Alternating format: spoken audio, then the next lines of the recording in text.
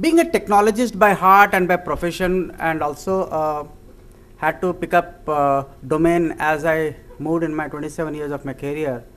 One thing I always found, uh, it's a cliche that something which is always a constant is a change. So change is always there. So as we speak, uh, you know, I think uh, the average age in this room, if I take, could be around, let's put a 45. Please understand that we are already, uh, we are already over the hill of a technology. So whatever we all are talking about and producing is for a consumer who is out there, who is in the mid 20s, and they have their own views. They are far too advanced in technology. They are far too uh, literate on the information what they want to buy.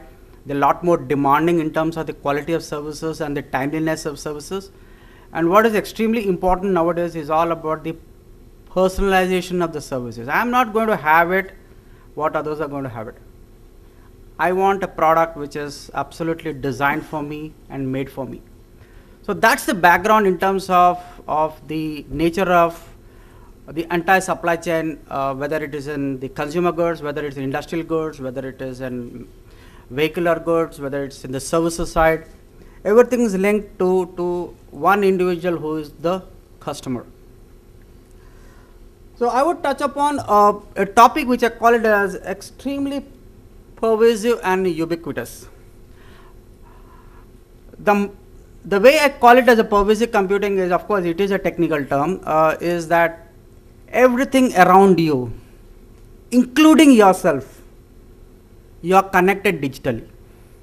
That means the garments you wear, the pen you write, the chair you sit, the table you, you know, use, the room you are in possession, every service, every product is connected. And that is, is all pervasive. And the days are not far when you would always find many of these connected already. You're talking about connected cars, you're talking about connected devices, you're talking about driverless cars, you're talking about minimization of devices. So it's all about making it very, very user friendly to be embedded in anything and everything which is around you, whether it's a physical, whether it's a process side. So Internet of Things is, is not something which happened last week or a month back. It started about 10 years back. The whole concept of pervasive computing, you know, was actually the fourth generation of computing which took over and said that there is a Murphy's law which says that every 10 years the, the size of computing decreases multi times, but the power of computing goes up many times. So the, the affordability of technology, the availability of technology was very easy. You are able to embed and buy technologies on a fly.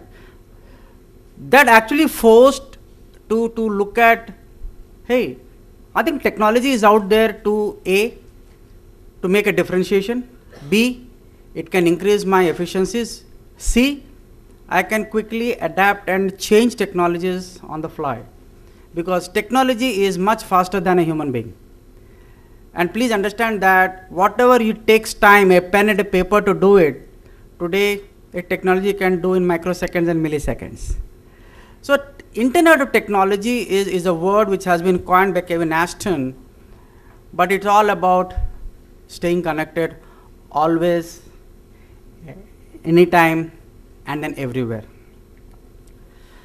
So Internet of Things is, is just a coined word it, which summarizes that anything, everybody, any service, any device, any place, everything is connected. And everything is available at that instance of where you are as a consumer. Your consumer could be the chairman of an organization, a consumer could be a guy who's buying a movie ticket, a consumer could be an ex, a, a, a, lady waiting at home for a FedEx to be delivered in a packet, or there is a person sitting on a website trying to design a product extremely customizable to him or her. It is all about getting connected. So this is a summary of anything A, A, A, A, A, A, A. So it's all about seven A's of Internet of Everything. But please understand that uh, Internet of Everything is not just connecting the devices. It is also connecting people. It also, it's all about completely automating the processes underlying a business. It's not that, you know, just you, you know, you have a calculator doesn't make you a great mathematician. Just you have an automatic, uh, you know, sewing machine doesn't make you a great tailor. And just to you know uh, like i am a hobby photographer for the last 23 years i have been shooting. So every time i show my photograph the first question is hey what is the camera you use? But nobody asked my wife you know which pressure cooker you use when she makes a great sambar? Right? Nobody asked her.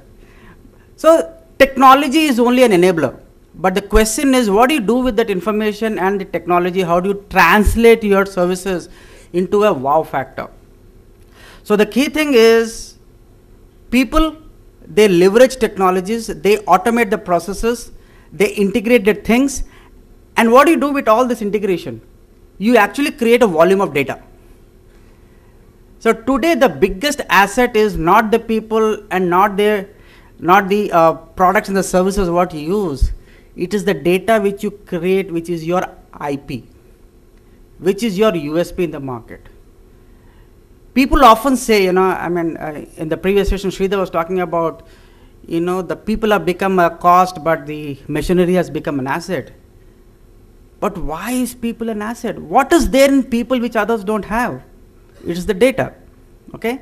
So when you look at the data pyramid, the information which you gather out of the data is, is your, I would say, the key differentiator in the market. So what do you do with information? Oh, I have a lot of information. So is my laptop. So is my cell phone. What do you do with information? Just because I carry a cell phone doesn't make me the world's, you know, the brightest manufacturer or the brightest logistics guy. It is the knowledge which comes out of the data. So there is a layer on top of the uh, data which generates the knowledge. So it's not just integration of things and the people and the processes. It's the what you do with the data, how do you handle it, how do you store it, and how do you build an analytics layer on top of the data is, I mean, is Internet of Things. It's not just connecting 50 billion devices. I can still connect it tomorrow, so what? Right? So that is something, you know, I would uh, touch upon as I progress in this presentation. So this is the, this is the where, you know, you would see the cost of computing is going down. So when the cost of computing is going down, I think extremely prudent that every manufacturer, every consumer, every transporter, every uh, logistic guy takes advantage of this computing and try and leverage to say what is the value I am going to get by connecting two devices. So it is not just connecting devices, it is what is called as the value based connectivity. So you should connect devices which add value to your entire production chain or entire supply chain.